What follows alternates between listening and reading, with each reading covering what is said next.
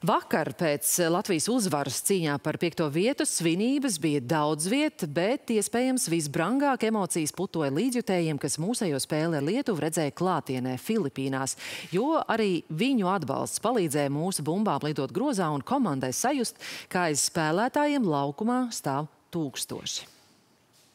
Kas tā ir par komandu,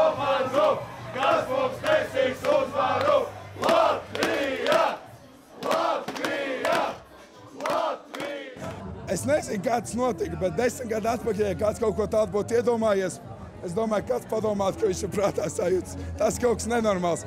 Atbrauc uz Manilu, ieraudzīja, ka Džeks spēlēs par to pastoju. Nu, seko līdz, protams, domāju, ka man nav. Man ir nevis vēlme te būt, bet pienākums te būt. Mūsu paši džeki no mazās Latvijas cīnās to pastoju Latvijā. Tas ir pasaulē, tas ir apbrīnojami bija liels gods šeit atrasties. Pateikt, godīgi, ka šajās pēdējās trīs nedēļas Džakarta Manila ir uh, viena no skaistākajiem momentiem dzīvē. Tiešām, tiešām. Paldies, puišiem, paldies visiem faniem, paldies jums!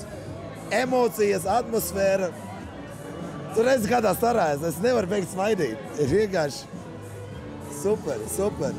Viens nu ir skaidrs, Filipīnu galvaspilsētā Manilā balīte vēl turpināsies ilgi. Reinis Ošnieks, Normons Paulovskis. Speciāli mūsu